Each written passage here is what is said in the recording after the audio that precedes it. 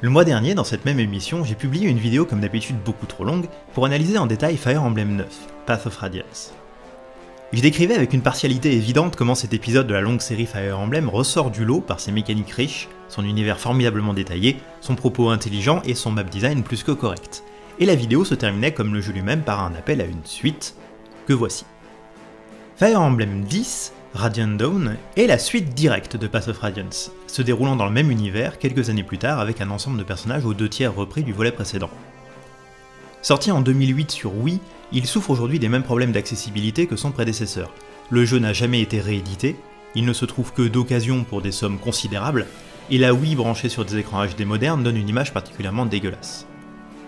Là encore, Dolphin est la solution évidente pour quiconque souhaite profiter de Radiant Dawn sans se ruiner ni le porte-monnaie ni les yeux, en attendant que Nintendo cesse ses stratégies ridicules de rétention de ses anciens jeux. La Wii est une console pour laquelle je n'ai pas beaucoup de sympathie, parce qu'on s'en souvient surtout pour l'avènement du motion gaming inclus au forceps dans tous les jeux Nintendo sortis sur cette console. On pourrait légitimement craindre que, comme Mario, comme Zelda, comme Donkey Kong, comme Metroid, Fire Emblem doivent aussi passer par la case motion gaming malvenue à l'occasion de son épisode sur Wii. Et, étonnamment, il n'en est rien. Pas besoin de secouer la Wiimote pour attaquer, pas besoin de sélectionner avec le pointeur la case sur laquelle vous voulez déplacer une unité, vous tenez la manette à l'horizontale comme du temps de papy, et par conséquent Radiant Dawn est un des jeux Wii qui ont le mieux vieilli. Par rapport à l'épisode GameCube, les améliorations esthétiques sont mineures. La plus importante est que le jeu est maintenant en 16 neuvième et que je peux me passer d'insérer une image de background sur l'entièreté de la vidéo comme la dernière fois, merci bien. Pour le reste, les portraits, les décors, les musiques, les modèles 3D restent globalement dans la même veine. Les animations de combat ont été rendues plus dynamiques, mais elles restent mille fois trop longues, d'autant plus que les cartes sont souvent bien plus grandes que dans Path of Radiance, et peuvent contenir des douzaines et des douzaines d'unités ennemies. Ne pas virer ces animations revient à doubler la longueur du jeu pour la faire passer d'une cinquantaine à une centaine d'heures, et franchement, elles sont visuellement sympas, mais je ne trouve pas qu'elles valent un tel investissement. Vous pouvez, comme dans Path of Radiance, vous contenter des animations sur la carte, ou, et ça c'est nouveau, les désactiver complètement. L'intérêt visuel de cette dernière option est absolument nul, mais c'est ce qui teste le moins votre patience quand 15 unités vertes et 30 unités rouges doivent jouer avant que vous puissiez à nouveau contrôler quoi que ce soit. Et même ainsi, certains chapitres prennent quand même plus d'une heure à compléter. Par certains aspects, Radiant est très similaire à Pass of Radiance, et ce sont des aspects sur lesquels on ne va pas s'apesantir. Cette vidéo ne va donc pas parler des mécaniques de jeu, qui sont celles de Pass of Radiance avec quelques modifications mineures plutôt bienvenues. Le bonus-malus accordé par le biorhythme a été boosté, mais même après ça, on a toujours tendance à s'en battre complètement les steaks. Les niveaux obtenus par expérience bonus donnent maintenant précisément 3 points de stats pour éviter les abus. Les cavaliers Wyvern ne sont plus sensibles aux flèches, bref des trucs vraiment mineurs. Globalement, Radiant Dawn est tout aussi riche dans ses mécaniques que l'épisode qui le précède, et c'est un excellent point. On ne va pas non plus parler du map design, parce que même s'il y a un certain nombre de chapitres remarquables, en bien ou en mal, les principes appliqués sont là aussi grosso modo les mêmes que dans Path of Radiance. Intégration du scénario dans le gameplay, objectifs variés, multiples routes et objectifs secondaires fréquents pour vous pousser à utiliser toutes vos unités, et l'usage de l'expérience bonus comme carotte pour vous encourager à terminer les chapitres rapidement ou autrement. Et cette carotte est ici mieux communiquée parce qu'il y a maintenant un écran après chaque bataille qui récapitule l'expérience bonus obtenue et son origine. Les deux vraies différences avec Pass of Radiance au niveau du map design sont la présence fréquente d'un paquet d'unités vertes alliées, qui peuvent vous mâcher une partie du travail, et l'usage trop fréquent de l'objectif décimer l'ennemi, Parmi les objectifs traditionnels de la série Fire Emblem, c'est celui qui encourage le moins la créativité et la réflexion. Et couplé à des renforts soutenus, à la lenteur des animations, à la présence des unités alliées et à la taille des cartes, c'est un des principaux facteurs qui font de Radiant Dawn un jeu très lent. Pour cette raison, je suis un peu moins fan du map design de cet épisode que de celui de son prédécesseur, mais ce sont vraiment des différences assez fines. On notera que les développeurs ne sont pas tombés dans le piège facile de la réutilisation de chapitres entre les deux volets, une seule carte de Radiant Dawn provient de l'épisode GameCube, et ironiquement, c'est le putain de pont avec ces putains de trous que quelqu'un est venu reboucher entre temps, sauf que cette fois-ci on le traverse dans l'autre sens. Et je préfère prendre ça comme une forme d'humour très sophistiqué de la part d'Intelligent System que comme un vrai concept de chapitre. Ah si si. Non seulement il y a des trous, mais il y a même des mages qui posent des, des runes, tu sais, qui empêchent les unités de passer sur ces cases-là. Donc, tu te retrouves même, à un moment, je suis même retrouvé à ne pas pouvoir passer à certains points du pont avec autre chose que des unités volantes, parce qu'il y avait juste aucun moyen de passer. Bon, mais du coup, si on est là pour parler ni des mécaniques de jeu, ni du map design, sur quoi cette vidéo va-t-elle se concentrer? Deux constats peuvent être faits sur Radiant Dawn qui le rendent particulier au sein de sa série. D'une part, son expérience de jeu tourne autour de son scénario, et d'autre part, il est sur Wii, une console destinée à être vendue à un public sans expérience préalable du jeu vidéo et dont les éditeurs considéraient généralement qu'ils étaient incapables de se confronter à la difficulté. Et les éléments classiques du gameplay des Fire Emblem, la tactique et la planification en notre partie à long terme, sont lourdement impactés par ces particularités. On va voir en quoi, si c'est une bonne chose ou non, et pour une fois on va aussi se pencher sur ce scénario en détail, puisqu'il est au cœur de ce que cherche à faire Dawn. Vous êtes dans Esquive la boule de feu, et aujourd'hui c'est Fire Emblem 10.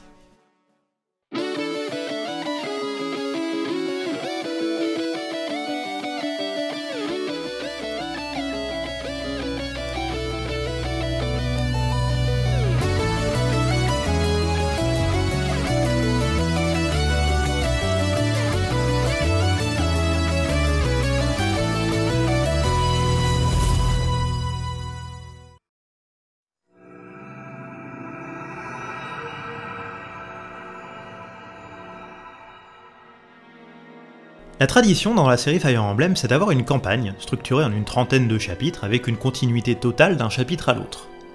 Qu'il s'agisse de Mars dans Fire Emblem 1, de Roy dans Binding Blade, de Ike dans Path of Radiance ou de Corinne dans Fates, vous suivez à chaque fois linéairement la progression du personnage principal et des alliés qu'il recrute. Vous les entraînez au fur et à mesure des combats pour en faire un groupe d'élite, et nécessairement vous vous attachez à eux dans le processus. Mais Radiant Dawn brise cette tradition car l'ascension de son personnage principal a déjà été racontée, et à la place, il prend du recul pour décrire au cours d'une quarantaine de chapitres les luttes que mènent plusieurs groupes de personnages à l'échelle du continent entier, ce qui signifie qu'il n'y a plus nécessairement de continuité entre les unités qu'on a à notre disposition d'un chapitre à l'autre. La première partie suit un groupe de personnages natifs de Dain, la brigade de l'aube menée par la prêtresse Mikaya. Elle adopte en accéléré la structure classique d'une campagne de Fire Emblem. On commence avec une poignée de personnages, on en recrute d'autres à chaque chapitre, on ouvre des coffres dans les maps d'intérieur pour se procurer de l'équipement rare, on essaye de donner de l'expérience aux unités les plus faibles et d'atteindre le niveau 20 pour les promouvoir.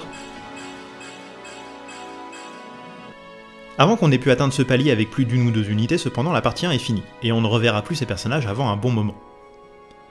La partie 2 se passe à Crimea et elle est très courte, 5 chapitres, ce qui nous empêche de construire quoi que ce soit à long terme avec ces unités. Elles sont déjà promues quand on en prend le contrôle, et elles ne gagneront qu'une expérience symbolique au cours de ces quelques chapitres. La partie 3 nous donne le contrôle des mercenaires de Grail, qui commencent tous promus mais à bas niveau, et cette partie 3 dure suffisamment longtemps pour qu'on puisse entraîner ces personnages. C'est là qu'on se rend compte que Radiant Dawn possède un troisième palier de promotion, atteint lui aussi au niveau 20 pour les unités déjà promues, et vos personnages devraient avoir tout juste le temps d'atteindre ce palier d'ici la fin de la partie 3. 4 des 13 chapitres qu'elle contient sont dédiés au groupe des parties précédentes, 3 d'entre eux vous rendent le contrôle de la brigade de l'aube, et un autre vous remet aux commandes de la chevalerie Crimea. Les cartes sont rebattues au début de la partie 4, tous les personnages du jeu y sont accessibles et doivent être séparés en trois groupes. Chacun de ces trois groupes mènera très exactement deux batailles avant que vous n'en arriviez à l'épilogue en 5 parties, pour lesquelles vous devez choisir 11 unités pour y participer et laisser la quarantaine d'autres sur le carreau.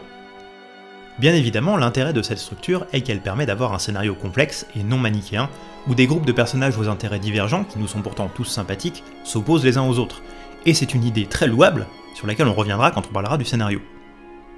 Cependant, je pense que même dans ce court résumé que j'ai fait, il est très facile de voir que l'adoption de cette structure va poser d'énormes problèmes tant narratifs qu'en termes de gameplay. D'une part, la multiplication des groupes de protagonistes signifie aussi une multiplication des personnages jouables en même temps qu'une réduction des occasions de les développer.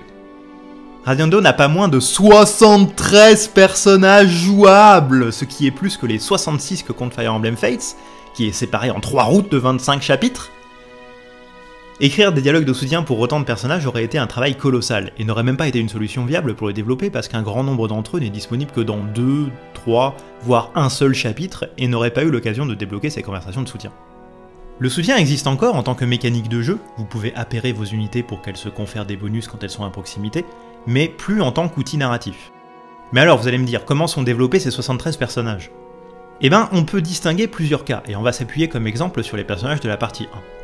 Soit ils ont la chance de faire partie des personnages principaux ou de leur entourage direct, ce qui concerne Mikaya, Soth, Raphael et Naila, et alors ils vont directement participer aux événements importants du scénario, et comme Radiant Dawn a beaucoup de choses à raconter, ça va naturellement constituer du développement de personnages. Soit ce sont des personnages secondaires provenant directement de Path of Radiance, ici Iliana, Jill, Toroneo, Ziark, Tormod et Muharim, et alors ils n'ont pas besoin d'être grandement développés puisque on les connaît déjà. Ils se contentent d'être eux-mêmes et d'intervenir de temps en temps, sauf pour ceux qui ont la malchance de devenir des caricatures d'eux-mêmes au passage d'un jeu à l'autre. Iliana est un bon exemple de cette tendance. Elle doit n'avoir qu'une dizaine de lignes de dialogue dans le jeu, et il n'y en a pas une seule qui ne fasse pas référence au fait qu'Iliana est un ventre à pattes. Ce qui était un élément d'important de sa caractérisation dans Path of Radiance, mais pas non plus le seul. Dans le même genre, Boyd est devenu complètement con, et répète ventre bleu à chacune de ses phrases. Et le seul élément de caractérisation qu'on aura sur Astrid est qu'elle est aveuglément amoureuse d'un gros loser. Soit enfin vous êtes un personnage secondaire inédit de Radiant Dawn, et là ben vous avez perdu au loto. Le jeu n'a pas le temps, ni les moyens, en l'absence de conversation de soutien, pour leur donner plus qu'une caractérisation squelettique. Fiona, par exemple, est un personnage qui semble intéressant dans le chapitre où elle est introduite. Elle est la fille d'un des quatre cavaliers de Dain, dont faisait également partie Grail et Toroneo, et a la responsabilité d'une région entière du pays. Mais elle ne prendra ensuite plus jamais la parole dans le jeu. Encore pire, la Lagus Vika n'a presque aucune ligne de dialogue, et ne semble pas non plus avoir de traits de caractère, de passé ou même de raison d'être là. Pour certains de ces personnages, comme les membres principaux de la Brigade de l'Aube, il y a bien toujours les conversations optionnelles dans la base qui remplissent en partie le rôle des conversations de soutien, mais vu le nombre de personnages présents dans le jeu, ils seront chanceux s'ils en ont ne serait-ce qu'une seule qui leur est consacrée. Pour toutes ces raisons, Radiant Dawn allie étrangement des personnages extrêmement bien développés et importants dans le contexte de leur univers, avec certains des personnages les plus insignifiants de la série entière. Du point de vue du gameplay ensuite, cette structure en 4 parties pose un autre problème que je considère encore plus embêtant, la destruction quasi totale de la planification à long terme de notre expérience de jeu, qui a pourtant toujours été un des piliers de Fire Emblem. C'est dû à des différences flagrantes et imprévisibles de viabilité et de disponibilité entre les différents personnages, qui nous empêchent complètement de construire une équipe en prévision de la fin du jeu. Prenons quelques exemples pour être plus clairs, en allant des personnages les plus favorisés par la structure à ceux les moins favorisés. Mia appartient au groupe des mercenaires de Grail, qui monopolise quasiment la partie 3. Elle dispose donc de 11 chapitres continus ou presque pour gagner des niveaux, et est tout à fait susceptible d'atteindre le troisième palier de promotion avant le début de la partie 4. Elle sera donc un des personnages les plus à même de tenir tête aux ennemis super bourrins de cette partie 4, et d'y engranger encore plus d'expérience pour être finalement une candidate tout à fait valable, à considérer parmi les 11 unités à sélectionner pour les 5 chapitres d'épilogue. Du point de vue de la distribution des privilèges dans Radiant Dawn, Mia est une grosse bourgeoise. Ziark partage la même classe que Mia, Bretter, Sauf qu'il est né de l'autre côté du périph', parmi la brigade de l'Aube. Bien qu'on le recrute déjà au deuxième palier de promotion parmi des personnages qui ne le sont pas encore, il va avoir beaucoup plus de mal qu'elle à être viable pour la partie 4, et encore plus pour l'épilogue. Il peut être déployé dans 4 chapitres, dans la partie 1, dans lesquels son surlevel l'empêche de gagner beaucoup d'expérience. Après quoi on le retrouve pour 3 chapitres dans la partie 3, où le pic de difficulté fait de lui une des rares unités capables de se battre à armes égales avec ses adversaires. Il va mécaniquement y engranger beaucoup d'expérience, mais 3 chapitres, c'est très court, et il est très improbable qu'il atteigne le troisième palier promotion avant la partie 4, ce qui l'empêchera d'y apporter une contribution autre que symbolique, et lui fera accumuler du retard sur vos unités utiles. Seul un traitement préférentiel intense, à base d'expérience bonus à chaque chapitre et de babying dans la partie 4, vous permet de l'utiliser tout au long du jeu, alors même qu'il est une des unités les plus puissantes de son groupe lorsqu'on le recrute. Imaginez donc ce que ça donne pour une unité qui est déjà particulièrement faible quand on la recrute. Fiona est également dans la brigade de l'aube, vous rejoint au niveau 9, non promu, avec des caractères de base atroces, et n'est disponible que dans deux chapitres de la partie 1, avant le pic de difficulté de la partie 3 où elle devient instantanément totalement inutile si elle n'est pas encore promue, sans parler de la partie 4. Il y a toujours eu des personnages faiblards dans Fire Emblem qui ne présentent aucun avantage sur les autres unités que vous pouvez déployer et que seuls leurs fans obstinés s'avertuent à jouer. Mais Fiona est un cas à part même parmi cet archétype à cause de sa disponibilité abyssale et des nids de poules que le jeu dresse sur la route de tous ceux qui voudraient essayer de l'entraîner. Et enfin, Tormod est la cerise sur ce gâteau bizarre. Il est disponible pour 3 chapitres dans la partie 1, dans lesquels il est très utile puisque déjà promu et très puissant, mais ensuite il disparaît totalement jusqu'à la partie 4 où il est automatiquement déployé et est désormais tellement en sous-level qu'il a du mal à faire des dégâts à quoi que ce soit et constitue plus une gêne pour vos unités compétentes qu'autre chose. Alors vous allez me dire, il y a toujours eu du déséquilibre entre la viabilité des différentes unités dans Fire Emblem, ça n'a rien de nouveau, c'est d'ailleurs un des principaux vecteurs de narration par le gameplay depuis le tout début de la série. Et je vais vous répondre que oui, mais ça n'a jamais été aussi extrême, ni aussi mal communiqué. Vous pouvez investir des ressources dans des personnages avec la volonté de les rendre exploitables à long terme pour que finalement le jeu vous en retire le contrôle pour les 15 chapitres suivants et qu'ils soient totalement inutilisables quand ils vous rejoignent. Et à côté de ça, le jeu vous donne des unités incroyablement puissantes qui ne nécessitent aucun investissement pour pouvoir solo tous les chapitres dans lesquels elles sont présentes. Pour revenir sur la partie 1 et la Brigade de l'Aube, vous avez accès dans les premiers chapitres à Sauce qui peut très bien tout faire tout seul, et dans ces derniers chapitres à Neila, Toroneo ou même le Chevalier Noir qui sont tous les trois immortels et roulent sur le chapitre entier sans l'ombre d'une goutte de sueur. Alors pourquoi donc iriez-vous vous emmerder à essayer d'utiliser des boulets comme Fiona, Meg ou Leonardo quand vous n'en retirerez de toute façon aucun bénéfice à long terme? Leonardo, c'est la- l'archer là Hmm? Que tu détestais? Hmm? On l'avait fait monter quand même, non? On avait essayé, parce qu'on croyait qu'il fallait jouer à Dawn comme un Fire Emblem ordinaire. Mais si j'avais su, et d'ailleurs quand j'ai rejoué au jeu pour cette critique, je me suis pas fait chier. hein. Dans tous les chapitres où il y avait Nayla, j'ai solo avec Nayla. Dans tous les chapitres où il y avait le Chevalier Noir, j'ai solo avec le Chevalier Noir. En, en début de jeu, j'ai solo avec Sauce. Et de toute façon, on les revoit pas ces personnages. En pratique, dans la partie 4, votre armée sera composée de trois types d'unités. Les dieux de la guerre que sont Ike et les rois Lagus distribués gratuitement par le jeu, qui feront la plus grande partie du boulot. Les mercenaires de Grail qui, ayant atteint le troisième palier de promotion, pourront contribuer efficacement à vos victoires. Et les meilleurs personnages de la brigade de l'aube et des chevaliers Crimea en grave sous-level qui resteront en arrière en essayant de ne pas mourir quand ils s'y mettent à 4 sur un seul ennemi. Donc, bref, dans l'intérêt de son scénario, Radiant Dawn fait des choix de structure qui réduisent l'aspect planification à long terme de Fire Emblem à l'ombre de ce qu'il peut être. Ce qui veut dire que le jeu va principalement se reposer sur ses aspects tactiques, la qualité interne de chaque chapitre, pour créer du gameplay intéressant. Malheureusement pour ces aspects tactiques, il se trouve que Radiant Dawn a aussi un problème au niveau de sa difficulté.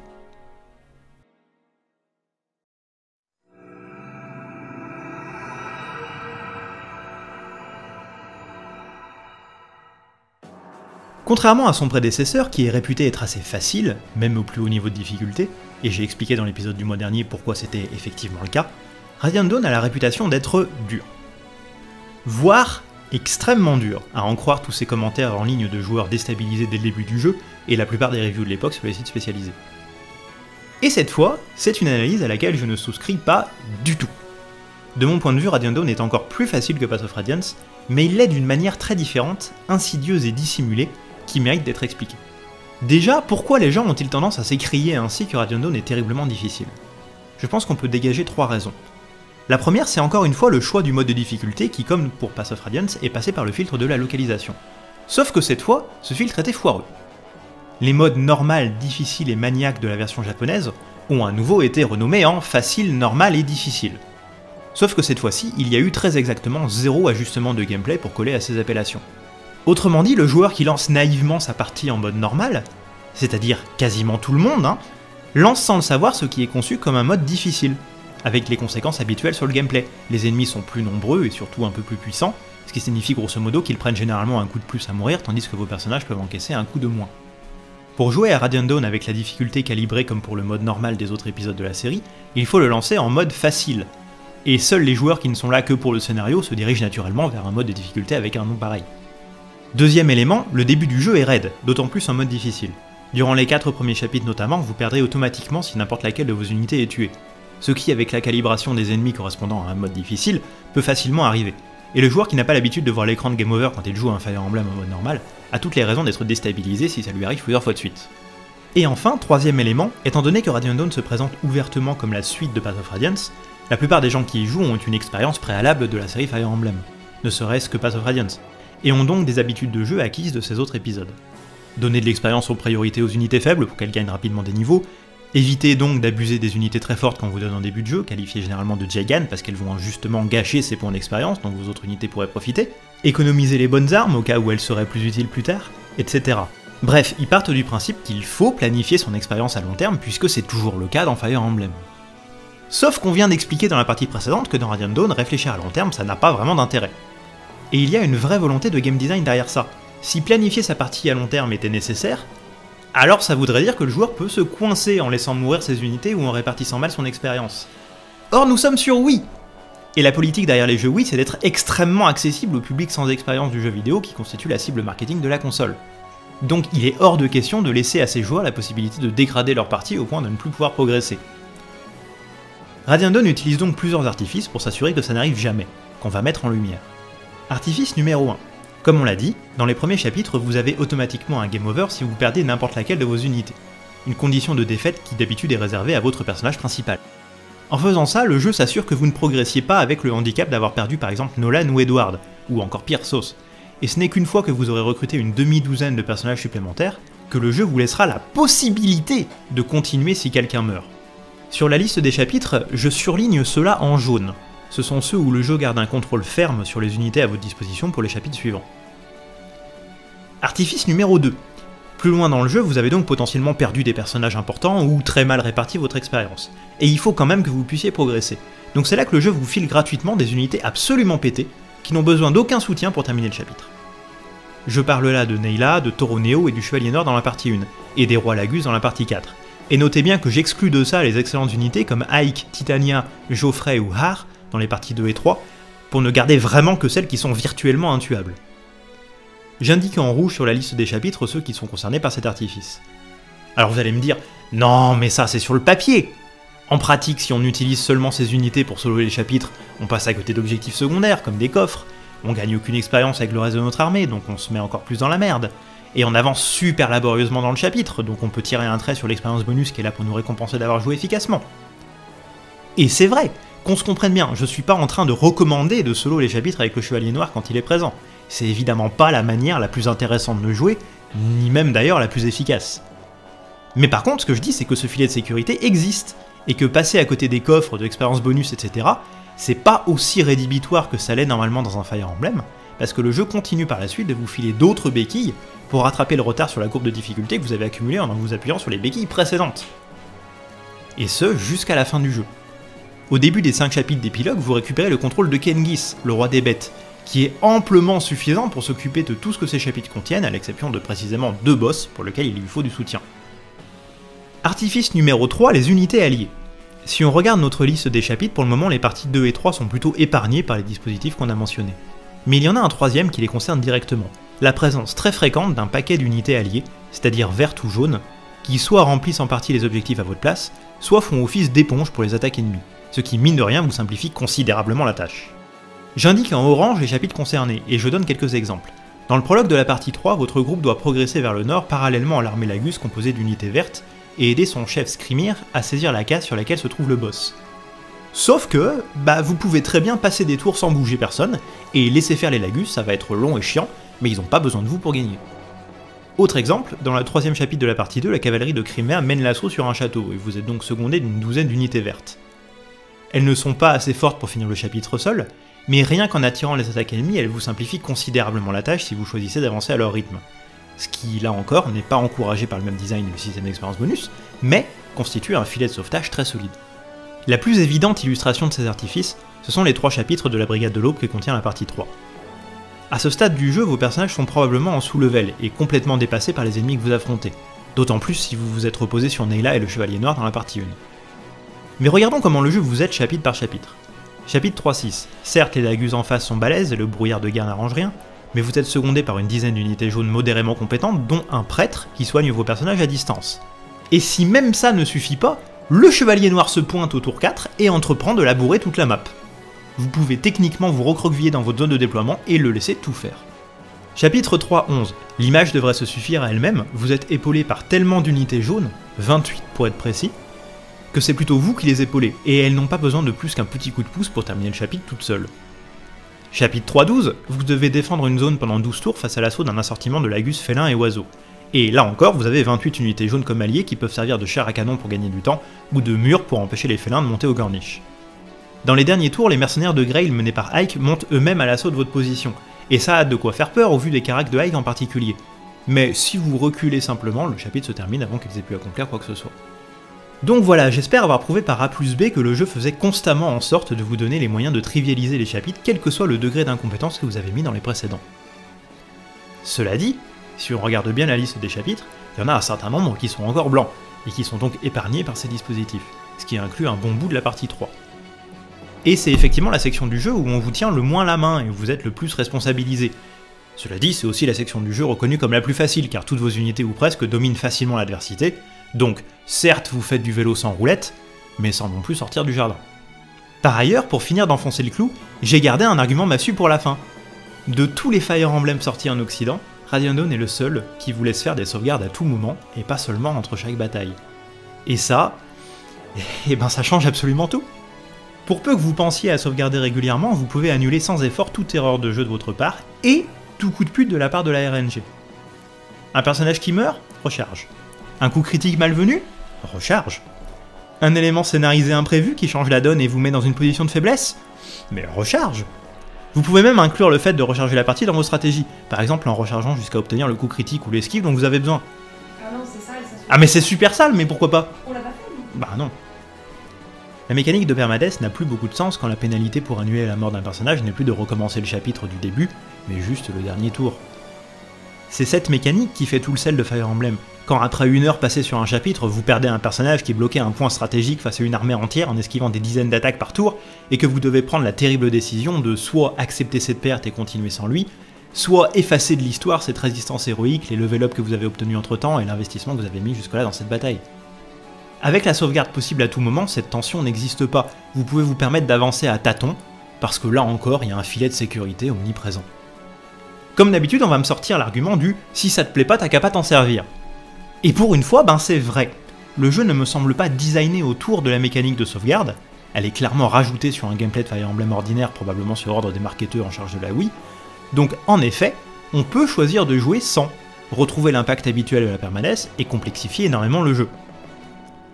C'est une forme de challenge run qu'on peut tout à fait s'imposer, mais qu'on ne vienne pas me dire que Radiant Dawn est difficile en mode normal quand cette option existe, et encore moins que c'est un des jeux les plus difficiles de la série. Je ne peux pas prétendre que Radiant Dawn est le premier Fire Emblem à vous proposer des sauvegardes internes au chapitre parce que le 4 sur Super NES le faisait déjà. Mais c'était très différent. Déjà, c'était justifié par la longueur extrême de chaque chapitre qu'on pouvait difficilement terminer en une soirée. Et ensuite, il y avait diverses restrictions qui y étaient associées. On ne pouvait sauvegarder qu'au tout début de notre tour, pas à tout moment, donc moins d'abus de type je recharge jusqu'à passer mon coup critique. Et ensuite, ne pas utiliser ces sauvegardes était valorisé par le jeu, puisque c'était le seul moyen d'avoir un bon rank dans les résultats finaux, pour ceux que ce genre de choses intéresse. Mais alors, quid du mode de difficulté difficile, qui correspond au mode maniaque dans la version japonaise? A première vue, ça ressemble à une bonne solution pour tout ce qui me fait grincer des dents depuis 10 minutes. Les sauvegardes internes aux batailles n'y existent simplement pas, et le boost de puissance accordé aux ennemis vous empêche de solo les chapitres avec Tibarn ou de laisser faire les unités vertes. Oui, mais Déjà, ce mode maniaque est trop dur pour constituer une alternative viable pour la plupart des joueurs, contrairement au mode difficile de Pass of Radiance. Ce qui serait un équilibrage correct, ce serait Radiant Dawn dans ses modes de difficulté facile ou normal, mais sans le handholding et la sauvegarde à tout moment. Là par contre avec le mode maniaque on est vraiment sur un équilibrage réservé aux experts des mécaniques de jeu de Fire Emblem, très patient et déjà au courant des subtilités de chaque chapitre. Et puis ensuite ce mode maniaque trouve ça malin de retirer deux mécaniques qui n'auraient jamais dû être retirées. D'une part la mise en visibilité des portées de mouvement et d'attaque des unités ennemies, qui existe quand même depuis Fire Emblem 4 si je ne m'abuse, et que vous devez donc aller compter vous-même pour chaque ennemi de la carte en vérifiant manuellement sa carac de mouvement et les armes qu'il porte, c'est hyper laborieux. Et d'autre part, le triangle des armes, qui est principalement une mécanique dont vous tirez profit pour avoir des bonus de précision et d'esquive, en particulier en début de jeu.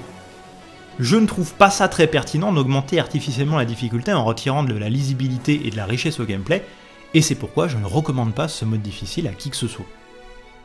Au bout du compte, on se retrouve donc avec un jeu qui paraît difficile, vos unités meurent facilement, les chapitres sont longs, les boss de fin de jeu sont hyper bourrins, mais tout ça c'est de la poudre aux yeux. Et Radiant Dawn a en pratique un gameplay remarquablement moins stimulant que celui de tous les Fire Emblem qui l'ont précédé, à moins qu'on s'impose un certain nombre de contraintes issues de nos habitudes de jeu, mais pas très rationnelles, comme entraîner tous les membres de la Brigade de l'Aube. De là à dire que Nintendo est arrivé à dober le gameplay d'une énième série avec sa politique éditoriale à la con pour la Wii, sans même avoir besoin pour ça du motion gaming, il n'y a qu'un pas. Oserons-nous le franchir? Je me le demande. Mais le constat est là. Toutes les bonnes idées de map design et de mécanique de jeu reprises en grande partie de Pass of Radiance sont polluées par des décisions qui leur retirent discrètement tout en jeu. C'est pas dramatique, je préfère toujours jouer à Radiant Dawn qu'à un gacha sur mobile, croyez-le bien, on est toujours sur la base des excellentes idées de game design de Fire Emblem, mais ces idées ont ici été un peu trop dévoyées à mon goût. Bon, soit, mais il reste un aspect fondamental de ce jeu à discuter, son scénario. Pour remonter le niveau, il aurait intérêt à balancer du pâté, mais euh, là encore, c'est un petit peu plus compliqué que ça.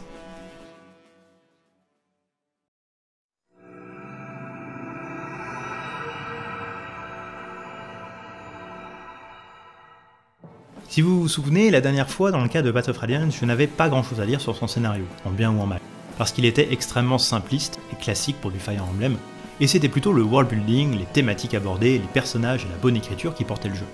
Revenons rapidement sur ces éléments-là dans le cadre de Radiant Dawn. On est toujours sur le continent de Tellius, quelques années après la fin du jeu précédent, et c'est l'occasion d'approfondir ce world building toujours excellent et d'explorer le passé de ce monde. Les thématiques de Path of Radiance sont poursuivies, et on y ajoute une nouvelle, qui est la légitimité du conflit armé au sens large. Et sans doute du fait du volume de trucs à raconter, l'écriture est un poil moins remarquable en anglais et absolument atroce en français, par pitié tenez-vous loin de cette version française qui par moments ressemble à un livre bibliothèque rose, Son seul point positif est le narrateur qui récapitule la situation au début de chaque chapitre, qui met une telle emphase dans tout ce qu'il dit qu'on ne peut que lui envoyer des lettres d'amour. L'armée principale de Baignon franchit de nouveau la frontière. Mais Crimea ne fait rien pour lui barrer la route. Pour Valtom, cette absence de réaction signifie que Crimea capitule et qu'elle accepte de se plier aux exigences de Baignon. Pour les personnages, je suis plus mitigé puisque comme on l'a dit plus haut, leur nombre et l'absence de conversation de soutien empêchent le jeu de les caractériser correctement. Maintenant que ça c'est dit, revenons sur le scénario, parce qu'il est remarquablement plus ambitieux, mais aussi du coup remarquablement plus critiquable, que celui du premier volet. L'idée générale va être de faire s'opposer entre eux des personnages qu'on a appris à apprécier, parce qu'ils défendent chacun les intérêts de leur nation d'origine, avant d'unifier tout le monde contre une menace commune, mais l'exécution de cette bonne idée générale est par moments très fragile. On va se pencher en détail sur le plot partie par partie, et ça va évidemment spoiler tout ce qui a spoilé dans ce jeu, donc si vous souhaitez rester dans votre ignorance actuelle, je vous encourage à utiliser la barre de lecture en bas de l'écran pour vous catapulter directement à la conclusion de la vidéo. Pour ce qui est de la première partie, il se trouve que je n'ai que des louanges à lui faire. C'est une très bonne idée de se baser à Dain, le pays des méchants dans le jeu précédent, qui subit depuis le joug d'une occupation abusive de la part de la théocratie de Baignon, pour immédiatement apporter du recul par rapport au manichéisme assumé de Battle. Les personnages qu'on suit, les membres de la Brigade de l'Aube, sont tous nouveaux à l'exception de Sauce, un personnage très secondaire de Path of Radiance que la plupart des joueurs n'auront même pas utilisé, et qui est devenu sacrément badass entre temps. C'est lui qui fait le lien avec le jeu précédent et il place de temps en temps des petites références à Ike et à la guerre de libération de Crimea pour nous rassurer sur le fait que le jeu sait d'où il vient et où il va. Parce que je rappelle quand même que Ike ne figure pas sur l'illustration de la boîte. La brigade de l'aube est embourbée dans une espèce de guérilla avec les forces d'occupation de Baignon présentées comme d'incorrigibles connards. Et au cours des 11 chapitres que dure cette première partie, on va les aider à libérer leur pays et placer sur son trône son héritier légitime, tout en recrutant au passage d'anciens personnages du neuf qui avaient un lien avec Dain. L'apogée de cette logique survient quand on reçoit l'aide inopinée du fameux Chevalier Noir, un des principaux antagonistes de Path of Radiance qui était un général de Dain, et qui est toujours aussi inarrêtable sur le champ de bataille. Cette campagne en 11 chapitres fait très bien le taf et constitue de mon point de vue la meilleure partie du jeu du point de vue de son scénario. Tout au plus, Mikaya est-elle un peu bof comme nouveau personnage principal. Les seuls éléments de caractérisation qu'on a sur elle sont qu'elle est très dévouée à Dain, à son peuple et à son roi, mais on ne sait jamais vraiment d'où vient ce nationalisme extrême, et qu'elle a des pouvoirs mystiques, y compris des prémonitions, qui permettent à la Brigade de l'Aube de lutter contre des forces qui les dépassent, et qui lui viennent vraisemblablement de son ascendance laguse, rendue manifeste par la marque que portent tous les êtres issus de l'union des deux peuples. Elle n'est pas particulièrement reliée aux principales thématiques de l'histoire, elle n'a par exemple rien à dire quant au fait que son pays qu'elle aime tant est le plus exagérément raciste du continent, elle ne défend pas spécialement des valeurs, et par conséquent elle n'a pas vraiment de point d'accroche avec le joueur, ce qui va vite devenir un problème plus tard. Partie 2, les problèmes commencent. Cette partie plus courte que la première, de seulement 5 chapitres, dont un prologue où il ne se passe pas grand chose, se déroule à Crimea qui a retrouvé sa souveraineté après la fin du jeu précédent, sous le règne de la nouvelle reine Elincia. On y dirige justement Elincia et sa chevalerie royale, constituée exclusivement de personnages de Pass of Radiance, aucune nouvelle recrue à découvrir et entraîner, ce qui serait dommage si la partie était plus longue. En l'état, avec si peu de chapitres, il n'y aurait pas eu la place de développer correctement de nouveaux personnages qui seraient allés rejoindre la décharge des anonymes avec Vika, Kisha et autres Laura. Ah non, maintenant que je regarde la liste des personnages, il y en a un nouveau, Heather la voleuse dont le seul élément de caractérisation est qu'elle est en crush sur Nefeni, et qui rejoint effectivement la décharge des anonymes plus vite qu'elle est arrivée. Bien joué jeu. L'enjeu de cette partie est que Elincia fait face à une fronde de la part des nobles de son propre pays qui dégénère en soulèvement puis en guerre civile, et il faut qu'elle montre à qu'elle a les balls de sévir pour garder sa position. Ce qui est bien, c'est que ça continue la critique acide des élites qu'il y avait dans Path of Radiance, en montrant que même à Crimea, le pays des gentils, les aristos sont principalement des connards qui veulent prendre le pouvoir. Le gros problème, c'est que pour amplifier la gravité de la situation et créer du drama, le jeu essaye très fort de nous convaincre qu'il ne s'agit pas juste d'une tentative de coup d'état de la part d'une poignée de nobles, mais bien d'un soulèvement populaire, aiguillonné par les nobles en question. C'est toute l'idée du chapitre 1 où Brom et Nefeni se retrouvent à prendre les armes contre leurs propres voisins, qui sont prêts à marcher sur le château avec des torches et des fourches. Et ce serait formidablement tragique et engageant si ça n'avait pas absolument aucun sens la fin de Pass of Radiance était ouvertement et textuellement très optimiste pour l'avenir du règne d'Elincia, et pour de bonnes raisons. Elle venait de libérer son pays d'une occupation violente et injuste en menant elle-même son armée sur le champ de bataille. Elle était l'unique héritière légitime du trône, et mine de rien, ça compte dans une monarchie. Son alliance diplomatique avec les Lagus de Gallia avait permis de reconstruire le pays à vitesse grand V, et il était clair pour tout le monde qu'elle allait être une reine juste et soucieuse du bien-être de son peuple, comme l'était d'ailleurs son père avant elle. Alors que lui reproche-t-on trois ans plus tard dans Radiant Dawn? De ne pas avoir occupé d'un après l'avoir vaincu. C'est tout C'est vraiment tout. J'ai relu tout le script de la deuxième partie pour être sûr, mais il n'y a pas de meilleure justification donnée pour lancer ce qui est quand même qualifié de révolution. De la part d'une population qui, dans le jeu précédent, nous expliquait qu'elle s'en fiche pas mal de qui a ses fesses sur le trône, tant qu'on les empêche pas de vivre leur petite vie dans leur coin. Ça n'a aucune cohérence, ni aucune crédibilité. Si les peuples pouvaient se soulever pour si peu, ça ferait bien longtemps qu'on serait, nous, débarrassés de notre propre aristocratie corrompue. Bref, le conflit de cette deuxième partie est totalement artificiel, et ça ne va pas aller en s'améliorant. Ajoutons à ça que cette partie est vraiment courte, les enjeux sont résolus alors qu'ils ont à peine été posés, et on a là la partie la plus oubliable du jeu. Au moins elle se termine sur une très bonne note. Après un chapitre de défense complexe et très tendu, la situation est résolue par l'intervention des mercenaires de Grail menés par Ike, dans une formidable cinématique. Peu de jeux envisagent de garder en réserve leur personnage principal pendant une quinzaine d'heures pour le mettre d'autant plus en valeur quand il sort en fin de l'ombre. Et c'est sans conteste un grand moment de Radiant 2. Dès le début de la partie 3, on prend le contrôle de Ike et de son groupe de mercenaires, qui vont entreprendre d'aider Galia dans leur invasion de Baignon. Croyez-le ou non, ce conflit-là est encore moins bien justifié que dans la partie précédente. Il faut même être très attentif pour ne pas rater la justification donnée. Les peuples Lagus envoient un émissaire au Sénat de Baignon pour exiger des explications sur le massacre de Sérénès, émissaire qui est exécuté, donc, hop, c'est la guerre. Quand bien même ce serait une raison suffisante pour déclencher une invasion qui va faire des milliers et des milliers de victimes dans les deux camps, y compris et surtout parmi la population civile de Baignon, Ike, Ranulf et Kengis savent depuis la fin de Pass of Radiance que quelqu'un cherche à provoquer une guerre mondiale en réveillant le dieu du chaos enfermé dans le Fire Emblem. Et qu'il faut éviter ça. Ike en particulier est incompréhensiblement pas cohérent avec son propre personnage de Pass of Radiance, plus étroit d'esprit et brutal, et paraît complètement con à participer à cette guerre plutôt que de chercher une solution diplomatique, ou encore mieux à prendre ses mercenaires pour aller faire une mission commando dans la capitale de Baignon et dégommer les sénateurs qui sont très clairement les seuls enfoirés de cette histoire. Tel quel, Ike et ses alliés sont ceux qui commettent l'acte d'invasion, et sont donc très difficiles à soutenir. Initialement, cette invasion se déroule bien, et pendant les premiers chapitres de la partie 3, tout roule. L'intervention du général Zelgus de Baignon, extrêmement compétent et introduit d'ailleurs discrètement dans Pass of Radiance, rééquilibre la situation et met un frein à l'avancée de l'armée d'invasion. C'est alors qu'intervient l'armée de Dain, menée par Micaiah, qui vient en renfort de Baignon pour prendre les Lagus à revers. Le nouveau roi de Dain depuis la fin de la partie 1, Péléas, refuse d'expliquer pourquoi maintenant que Dain a retrouvé sa souveraineté, il engage ses forces militaires pour soutenir Baignon. Et là, tous les personnages de la Brigade de l'Aube se contorsionnent pour rendre possible ce conflit hallucinant avec les mercenaires de Grail.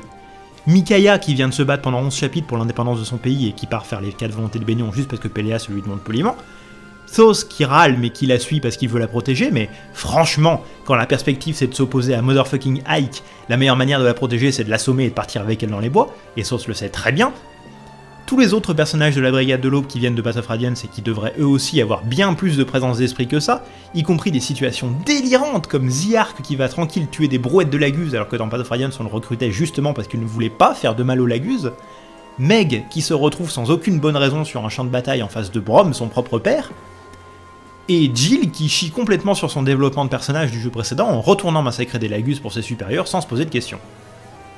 Ike et surtout son stratège Soren, qui ne pouvaient pas prévoir de telles faiblesses d'écriture, sont pris de court par ce revirement et donc l'armée Lagus bat en retraite vers leur pays.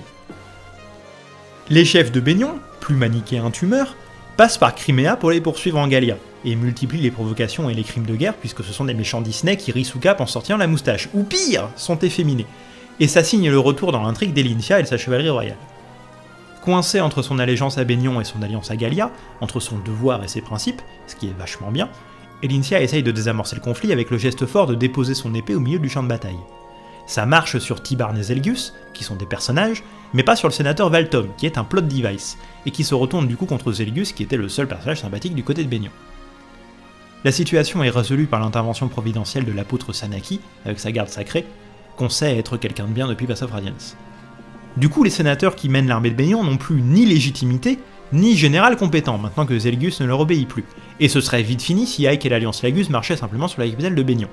Mais le jeu a très envie de nous mettre dans ces situations bien juteuses où des personnages qu'on apprécie sont opposés les uns aux autres sur le champ de bataille, donc on va déjà passer par Dain et être à nouveau confronté à la brigade de l'Aube. La bonne idée ici est de nous faire jouer les deux chapitres suivants du point de vue des personnages de Dain, qui sont largement surclassés, tant dans leur motivation qu'en termes de gameplay ce qui devient très clair quand on doit défendre pendant 12 tours le château de Dain contre les mercenaires de Grail, menés par un Ike qui one-shot toutes nos unités, mais franchement la non-crédibilité de la situation atteint un niveau absolument insoutenable.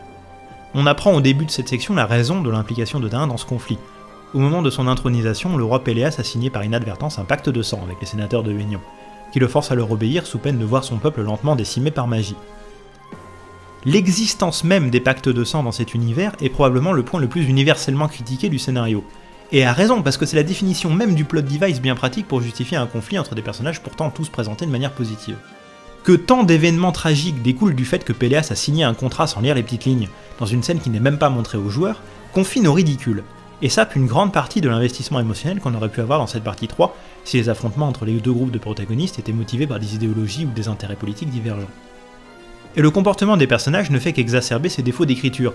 Plutôt que d'expliquer le problème à Ike et de réfléchir à une solution commune, Mikaya se lance dans une résistance obstinée et désespérée, dont l'heure la plus sombre est celle où elle ordonne de verser de l'huile inflammable sur l'armée Lagus pendant qu'elle traverse un défilé, d'y mettre le feu et de cribler de flèches tous les Pégases qui essaieraient de s'échapper, comportement qui nous la rend décidément extrêmement antipathique, et tout du long, le joueur un minimum sensé est là à secouer la tête d'incompréhension en répétant Mais arrêtez!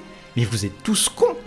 Il y a mille autres moyens de sortir de cette situation le siège de la capitale de Dain est interrompu par l'arrivée du prince des dragons, qui en profite pour rappeler que la guerre va réveiller le dieu du chaos enfermé dans le Fire Emblem et qu'il faut arrêter.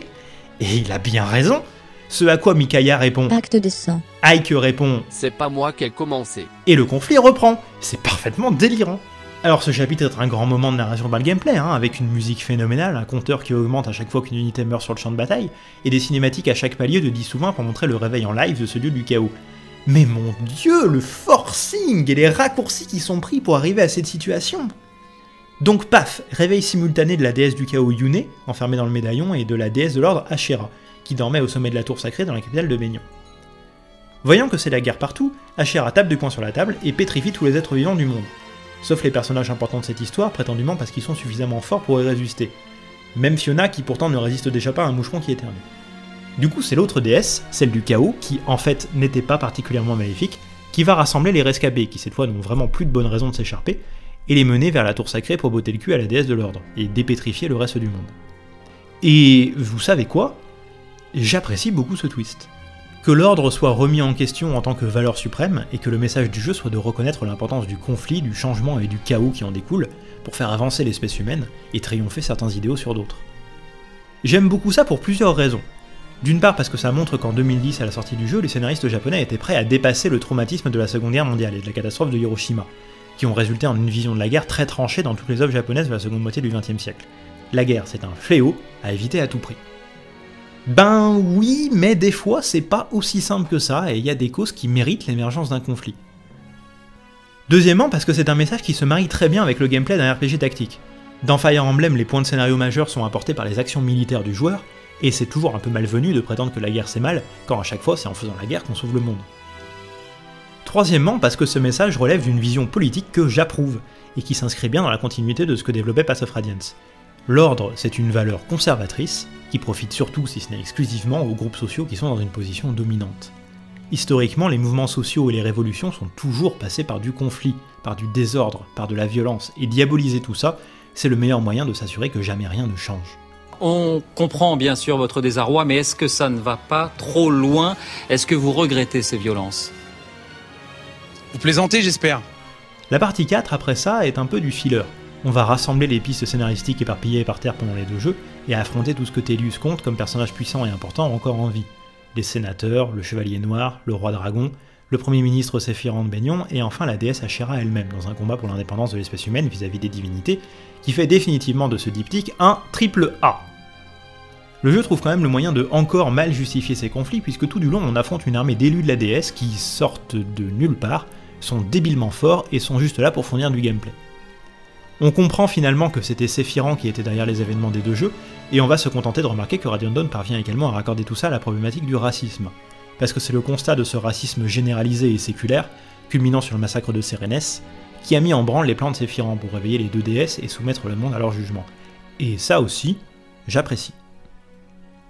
Pour conclure, Radiant Dawn a un scénario ambitieux, bien plus complexe que celui de Path of Radiance, et qui brasse des thématiques fortes, avec une vraie volonté de bien faire.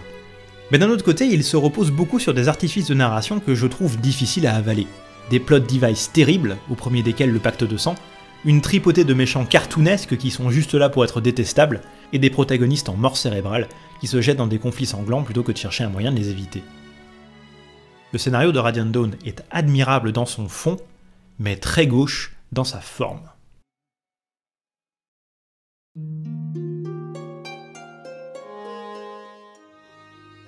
C'est là que je me retrouve un petit peu embêté parce que ça fait une demi-heure que je casse du sucre sur le dos de Radiant Dawn et pourtant c'est le moment où je dis que malgré tout ça, ben je l'aime bien ce jeu.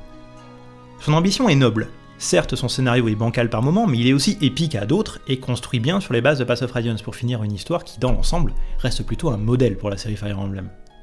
Certes, sa structure en 4 parties cause de gros problèmes d'équilibrage, mais ça part une idée ambitieuse qui méritait d'être essayée, et certes, le jeu sabote ses difficultés avec une mauvaise volonté qui ne satisfait finalement ni les puristes, ni les casual gamers qui veulent juste apprécier le scénario et tuer des trucs avec leurs unités en surlevel, mais ça part là aussi d'une volonté louable de proposer une difficulté adaptative en fonction des performances du joueur.